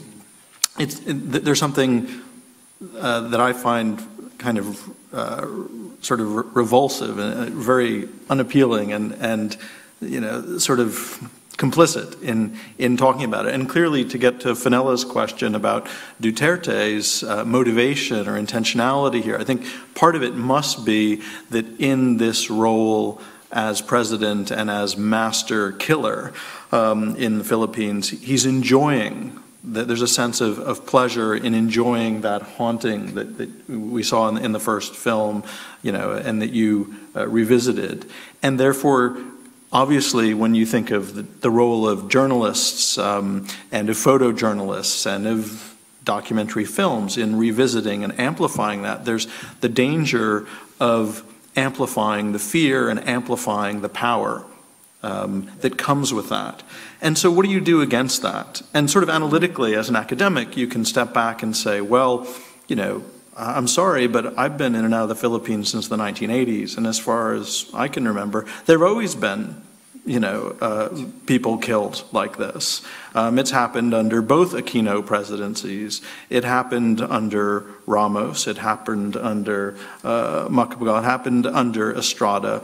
This is part of the repertoire of Philippine politics, and you know, it's a set of contingent circumstances that have elevated this to a, a national kind of policy and, and, a sort of signature style and substance of, of, of this presidency. Um, so that's one sort of historicization to sort of pull it away from Duterte. And another way that journalists can engage in was that, that piece you sent me months ago by Reuters, where they systematically looked at one uh, district uh, within Quezon City and sort of mapped out, you know, what areas of Quezon City literally, there's you know beautiful sort of 21st century you know uh, multimedia presentation of mapping and gridding, and also looking at the individual policemen whose whose presence on the scene was sort of you know correlates closely with these killings and so forth, and you can sort of analyze it that way. Um, but it seemed to me that early on in your presentation, when you, you talked about the about the uh, the disappearance of the social you know, that, that that was really crucial because it seems to me you know, if you go back to the, the mid late 1980s, which is when Duterte emerged, in a city notable for the intensity of the revolutionary mobilization that unfolded in the period leading up to the overthrow of Marcos. Uh, the Welgang Bayan, the, the left wing, broad popular forms of mobilization in the city. And then after Marcos fell with strong American involvement, um, the brutal anti communist hysteria and uh, vigilante mobilization and counterinsurgency that unfolded, that part of what was made to disappear was the social, the notion of Philippine society. All those people who were there in, on EDSA or who were in different ways mobilizing to represent Philippine society as social forces, as workers, as peasants, as youth, as men, as women, as the poor. Um, they disappeared in favor of newspapers and TV shows and representations in which society disappeared and individual politicians and personalities took their place. And, and I think what was actually quite moving in what you uh, showed us was the return of the social in the funerals. When you can, and when you can see there are still vibrant, as you discovered, neighborhoods where people are there as members of society and families and communities and and and and in that we see you know as against you know what we see in terms of terrorism uh, today not just the perpetrators and the pathologies of these these perpetrators but you know the victims the families um, uh, out there. And that is I think perhaps along with the church after all these years, yeah. the seeds of a basis of, of some kind of renewal and some kind of effort to re represent Philippine society in the face of what's become so hegemonic as an understanding of Philippine politics and a Philippine life in which, you know, representation is articulated in, in this particularly narrow and deeply conservative way. So I think that provided seeds of hope. Uh, it, to my mind, amidst all the horror. Did you want to jump in? I just wanted to take out one of the points that you made, John, about um, because my understanding is that the so-called war on drugs is being used as a political tool against local politicians by the central government, Duterte administration, and that um, officials on every level of government are complicit in the growing so-called war on drugs. Um, for example, Quezon City declared itself to be a drug, we want to be a drug-free zone. In other words, that was a declaration of fealty to the Duterte administration.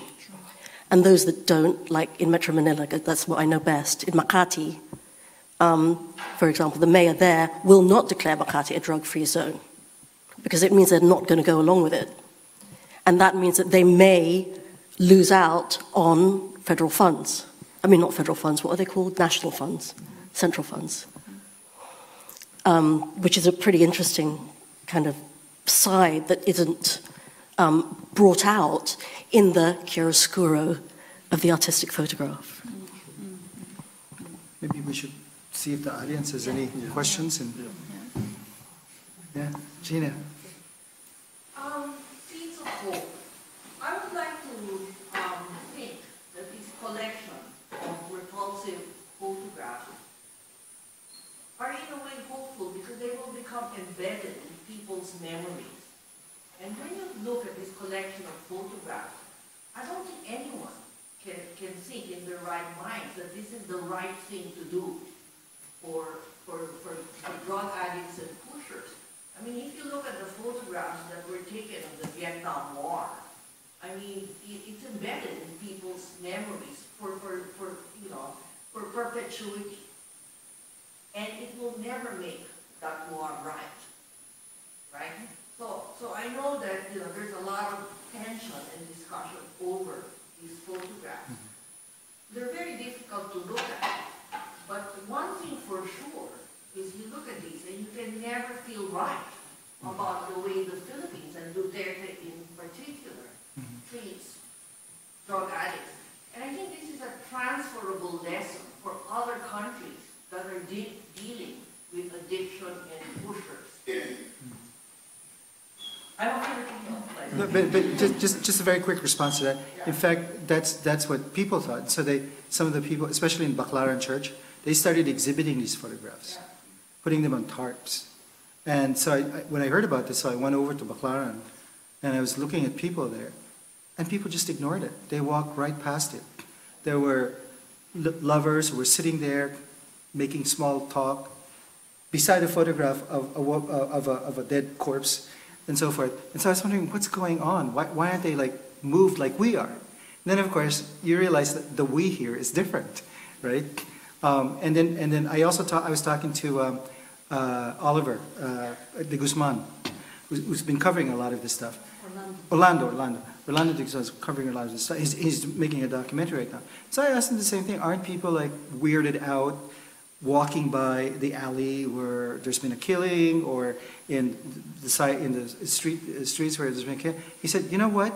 They don't really seem to mind. It just goes out of their minds. Like the other day, uh, he was saying that he was somewhere in Caloocan or someplace, and they had had a killing the night before, and and there were still traces of blood on the street. And here come the kids, and they're sitting there waiting for the school bus to come. Nobody says anything. Nobody says, you know. I mean, in, in other words, it, it seems like uh, places which you think would be haunted, places which you think would be permeated by fear, are sort of like baliwala. You know what I mean? And I think part of it is the belief among most people, not all, but most people, that, well, if they die, they deserve to die. Can I, can, I, I'm, I'm, um, this is a very naive question, but perhaps following up on what some of you were saying as well. It struck me in that uh, in a number of ways, the photojournalists could be seen. I was surprised to hear you say that they are, uh, how much under threat they are, the night crawlers, right? Because it struck me that they could so easily be seen in many ways as playing the game, as promoting, as promoting. I mean, in some ways that you pointed out, right? That that they are they're circu- well, they're circulating these these photographs for free, right? Of of um, to scare pe- that scares people, right? The faceless. That's. Um, they are also, you know, as we all do, as you were pointing out, we play up Trump um, through our obsession, um, and that that way in which they are a part of it seems to me to be well, so the, the one thing that seemed to me to be really crucially distinguishing it is the photographs of the mourners. So the body plus the mourners, but the photographs of the bodies per se, Yeah. uh, in absence of the, the, the broader social context beyond the, the, the asphalt, um, that seems to me to be really problematic. And That's right. yeah. It could easily be folded into propaganda, propaganda for the state. This is what the So, which is, I suppose, coming back to what you were saying, Gina, as well, that how, how do we know, right? We're, we're living in a very different moment from the Vietnam War and from the aftermath of the Vietnam War. A very, very different moment vis a vis media. And how can we say that this photograph is not perpetuating uh, more than it is contradicting and countering and with a, a, a future um, vocation of that order? With the exception perhaps of the inclusion of the social, that seems to me to be an important Yeah. distinction. And I actually have some, something to say about that too, but first, maybe we can get some more, get some more questions. Yeah, Jovi, yeah. No, just, uh, you, you mentioned two ways that they modify, um, you know, these images. Yeah, And, uh, you you neglected to mention, uh, the third way, which is via social media, Instagram, and Mm. Facebook, and And like the fact that, like, everyone is a publisher these days. One thing that we talk about in, in media is that, like, you know, we're no longer the, the, the, uh, you know, end all and be all or gatekeepers for anything, really. You know, in, in a lot of ways, so a lot of Yeah. legitimacy can be built up outside of the, outside of the system. And that's both scary and, and both hopeful in some ways because um, it also allows people to react and to popularize things but, you know, it's just, it's a very complex and new kind of like media environment, and I- I mm-hmm. wondered if you had given that much thought. Yeah, no, it's a good point. I, I should, I should think about, because I'm not on Instagram, so I should, I should probably join, join Instagram and think about, but it, it gives rise to this idea of, of, of a third way, which is curate, cur- curatorship. Yeah. Individual pho- photo, photographers, in fact, do this. They curate their work. Stuff that doesn't get used by their editors, they put on their Instagram, and then you can look through them. And of course, they have their followers and so forth. Uh, but what happens to that is it's a little bit like, like all curatorships. You, you exhibit them, right? And then you ask, well, what's the exhibition, exhibition value of these photographs? Well, they're nicely done. Um, maybe they trigger moral outrage, or maybe they push an argument, right? But in and of themselves, and this is the bottom line, in and of themselves, photographs cannot change policy. Photographs will not stop the killing. Everybody knows this. Every, the photographers themselves know this, right? So you can curate and you can have as many Instagram things as you want, and it might alleviate your conscience. You might think, well, I'm putting this on as testimonies, as documents for future. But in and of themselves, unless it's connected with something else, for example, actual legislation, social movements, the return of the social, photographs, uh, I think, uh, are very, very fragile that way. Right? Yeah. Yes, and, and then Kenny, yeah.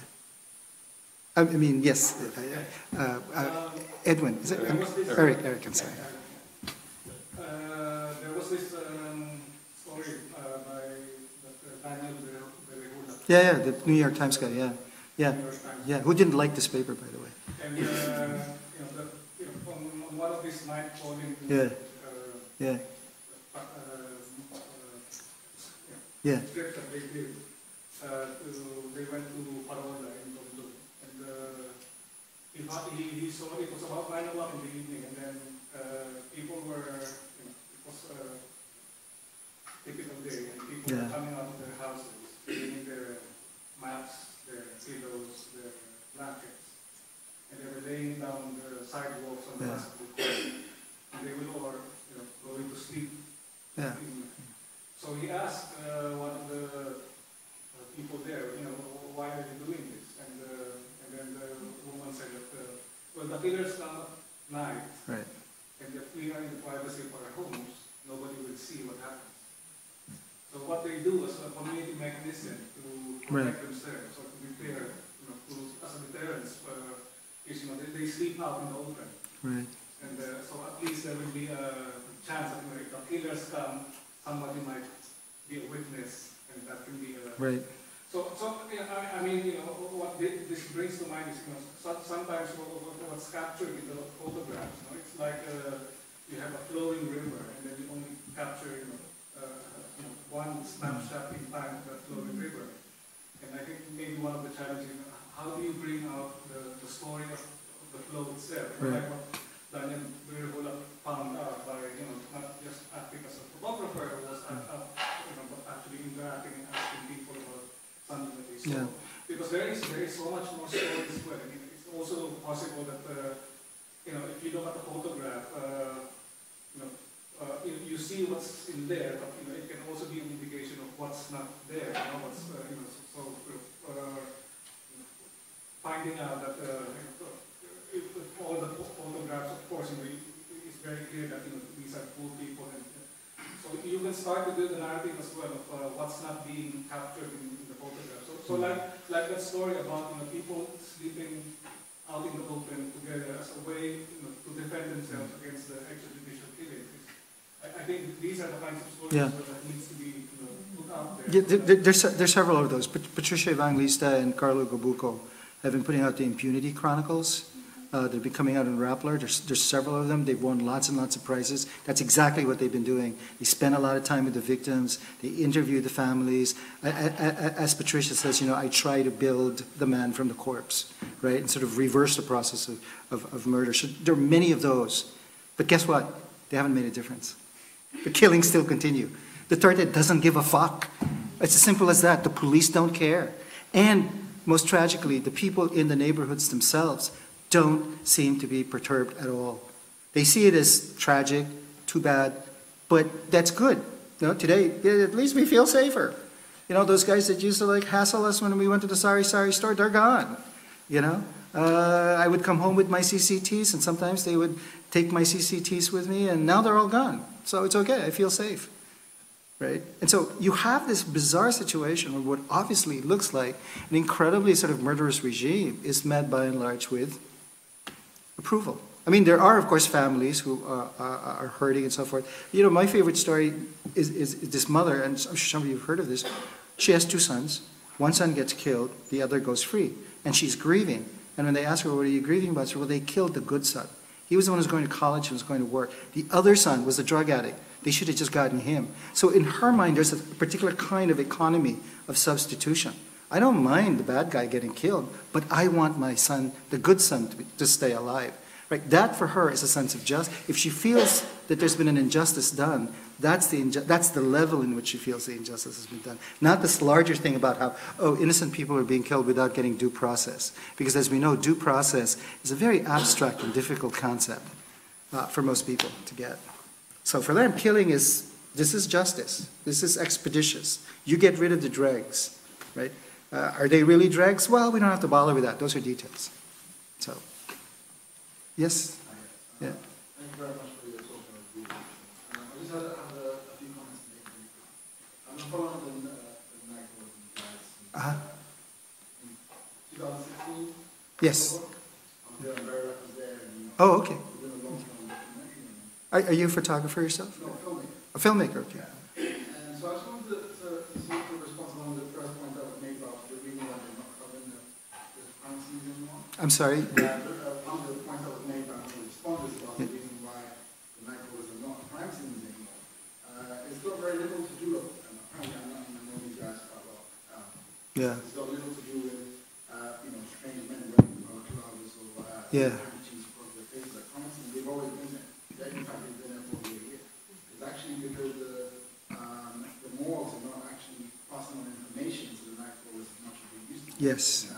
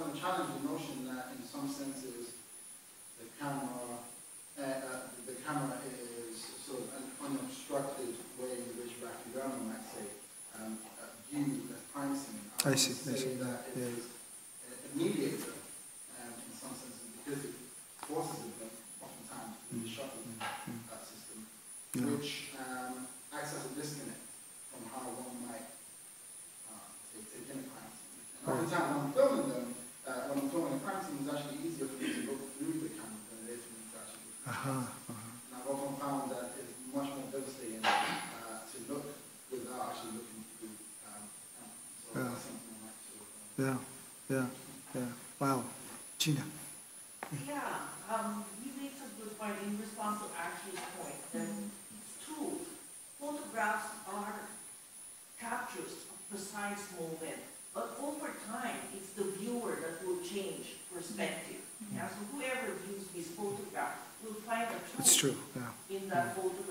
And for that, I really think that these repulsive pho- photographs will offer a truth in time.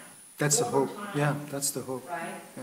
So we do live in very different times from the Vietnam War, but those people that saw those pictures at the time they were taken is different from the way people see it now. Mm. At the same time, we still don't agree that it was the right thing to do. There will always be dissent on whoever is mm. viewing the image, mm-hmm. but overall, I think there will, truth will surface from the precision of that image that was taken technically by a camera. Yeah, I thi- I think that's the hope. Kendi? Yeah. Um, when I, when I was uh, a, a junior photographer uh, during the Marcos era, Yeah. my, the old grizzled guys used to say, if you see the, the photo, you didn't take it because of the shutter coming down. So if you saw the moment that Aha. you wanted to shoot, Uh-huh. you didn't get the shot. But what I wanted So to- it's the opposite of, of, of his point. Yeah. You saw it, then you didn't take it. Yeah. Um, but That's I- very I was interesting, gonna, yeah. I was gonna Yeah. just make a, I was really struck by the difference between that time, a long, long time ago in a galaxy far, far away, when I was a young journalist in the Marcos era, and this, uh, the, the the narration you just Yeah. gave us. Yeah. Um, in, in the Marcos era in the 1980s, when there was no social media, Right. and no ubiquity of photography and no easily um, manipulated photography, and there was a lot more trust in because it, take, it took skill to produce a photograph, put it on a piece of paper, and disseminate it. Sure. Sure. Um, the impact of photography uh, during the Marcos era was part of what brought him down. Yeah. Um. There was also a, a very different attitude towards the photographs. The more, because I worked for a magazine which was bizarrely called Mr. and Ms. Yeah, yeah, of course. Which documented the, Yeah. the, Yeah. the, the, the, the, Yeah. the battle against Marcos. Yeah. yeah. And um, these photographers, uh, Luis Luana was one of them, the guy who made the film, Yeah. would walk into the room. My job was to pick the photographs and put them, and, and we, we just have spreads and spreads and spreads of rallies, uh, uh, you know, terrible photos, good photos, protests Mhm. against Marcos. And that, and that that sold hundreds of, and thousands of copies of Mm. our magazine every week. Mm. The reason, my, my editor said, the reason is probably because people like seeing themselves in, in newspapers. They Hmm. Could like be. seeing the photos, that Could the be. more they saw of themselves, and they identified with the crowds and people protesting, Aha, the more they saw of themselves, the more they participated in the protest Right, against Marcos. right. And the opposite is happening today because Yeah. people are, what's the word, they're oversaturated with information Yeah, from yeah. Facebook and Instagram and all those photographs. They've seen too many photographs. yeah, It wasn't like in the olden days where you had to buy, buy it to see it, and you looked in the crowd. The crowd photos we published, the crowd photos in full spreads because we knew that the people buying the newspapers would search for themselves through those tiny heads. Right, right, right. Um, But now people have this uh, right. sense of, first of all, they're happening in these communities which have always, always been ignored, which have always suffered that kind of justice. Yeah, It's nothing new to them exactly. being shot in their beds. That's nothing new. It's just that it's, it's the government that's doing it. Yeah, yeah. Um, and so, and then there's this othering thing that's also happening where I'd rather that wasn't me. Yeah, Um, And so they are not participating, they don't have that kind of revulsion and anger perhaps, perhaps they do, but they're not showing it. But they're not, it's not like the way it swept people in- during the Marcos era, the photographs swept people Yeah. into, into the streets. yeah, This is driving them in because they're saying, no, that's not me, I'm not a drug Right, right. That is- this- these exactly, not me."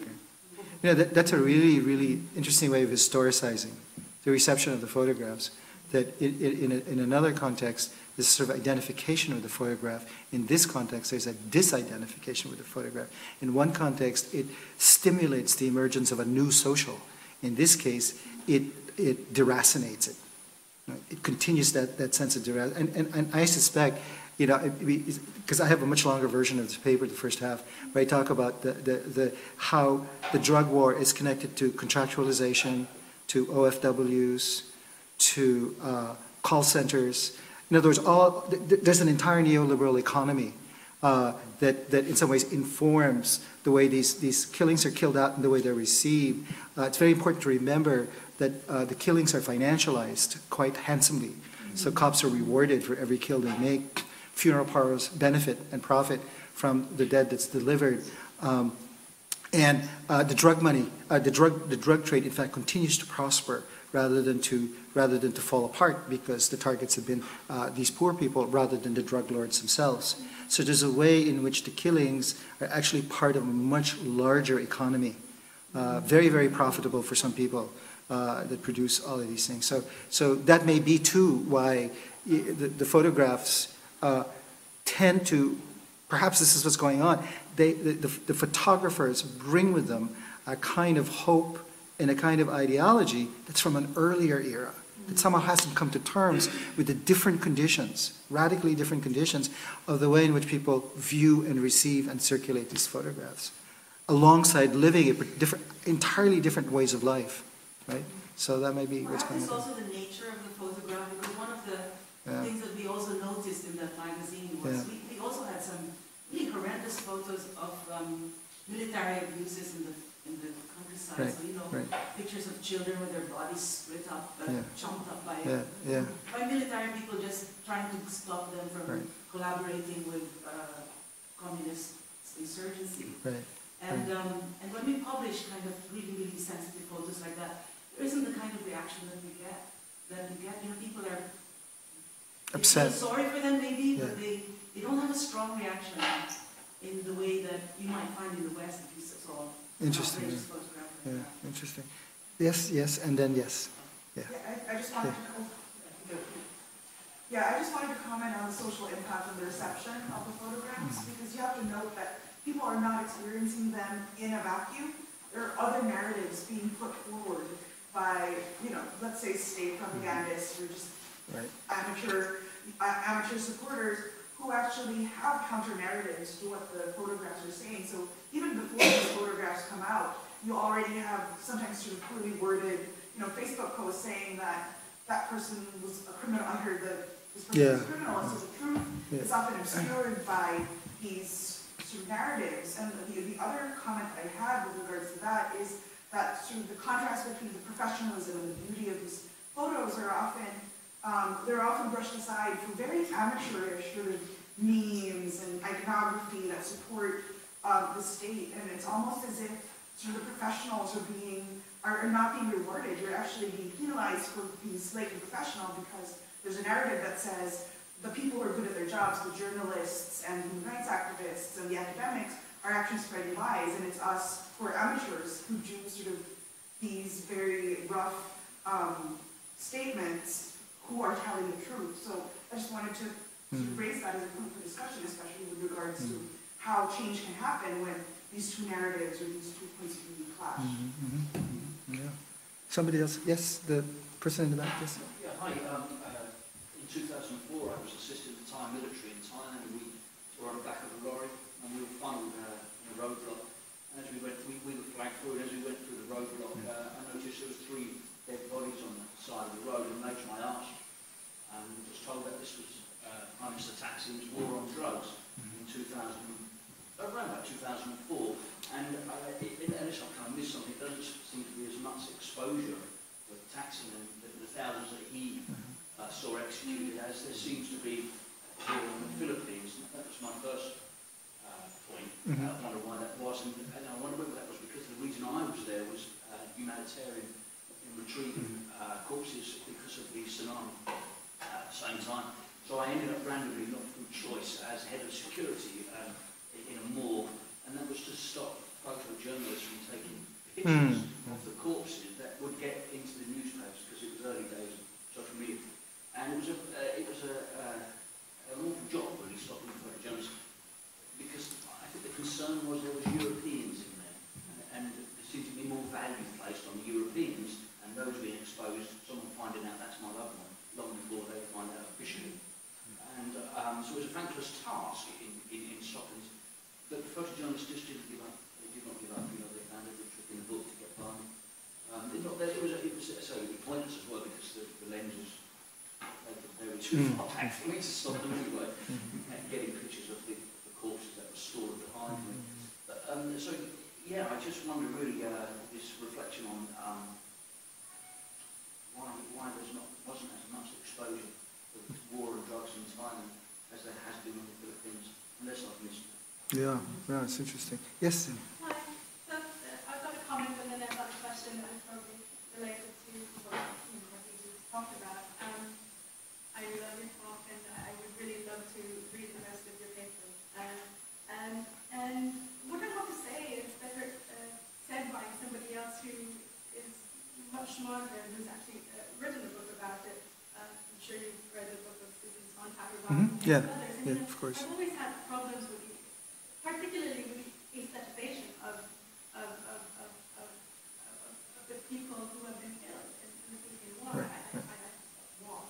I, I know a lot of the photographers that, that, that took these images. And, um, let me just read this and, then- and then I'll, let me ask the, the question. Let me put the question to the panel. That we are not totally transformed, that we, that we can turn away, turn the page, switch the tap, switch the channel, does not impugn the ethical value of an assault by images. It is not the defect that we are not seared, that we do not suffer enough when we see these images. Neither is the photograph supposed to repair our ignorance about the history and causes of the sufferings it picks out and frames.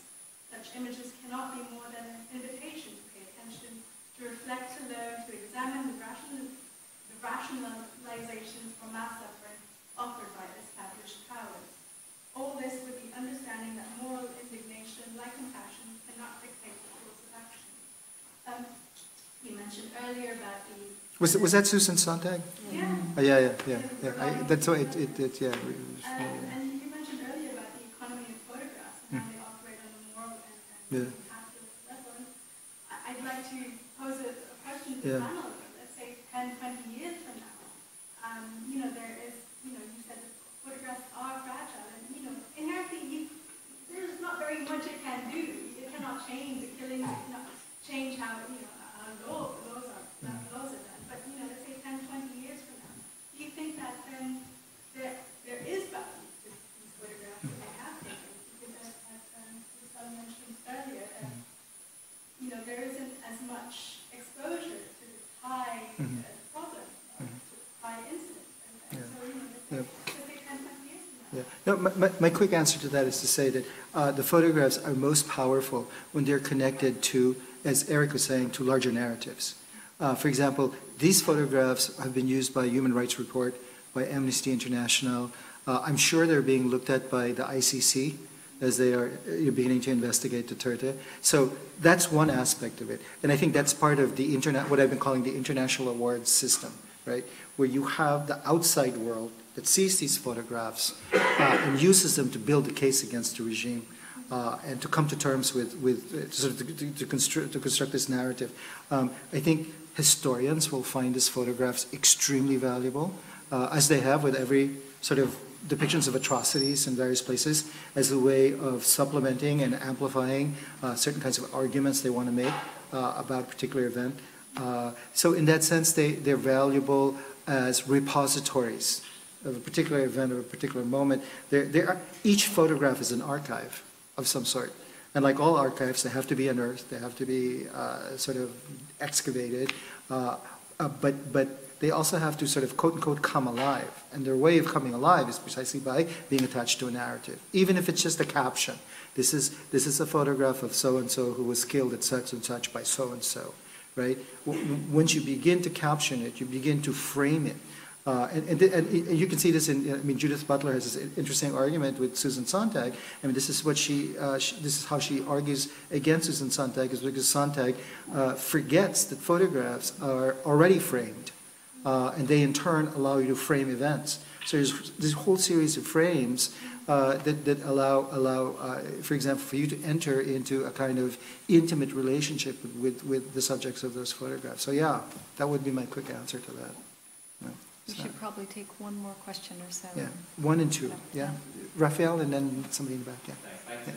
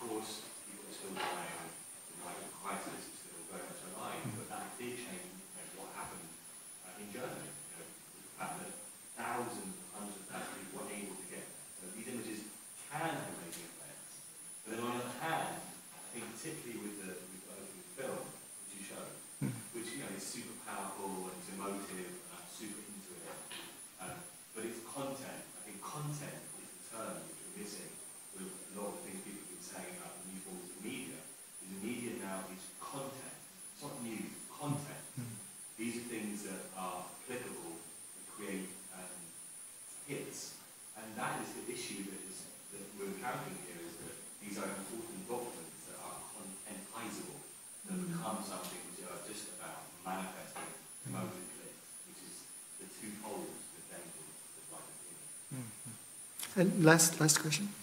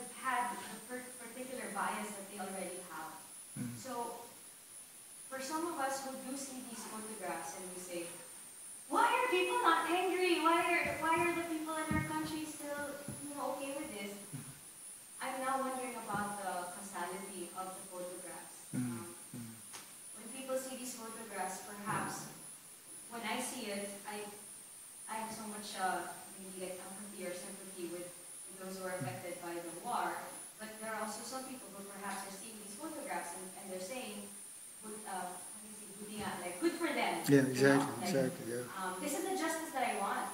And so it actually perhaps even supports the very narrative mm-hmm. that they already have. Because it's just that it seems like these photographs are um, further causing divide. Mm -hmm. No, I, I, I agree. I, yeah. Yeah. yeah. I think we're done, right? We're running out of time. I, I, I'm, We're not done. I'm, I'm, I'm watching. I'm, I'm, I'm watching. They're watching will, the time. We will interrupt until next time. So um, yeah. thank you, thank you, Vince, thank you. Thanks, and thank you to thank our you. panel members yeah. and all of you as well.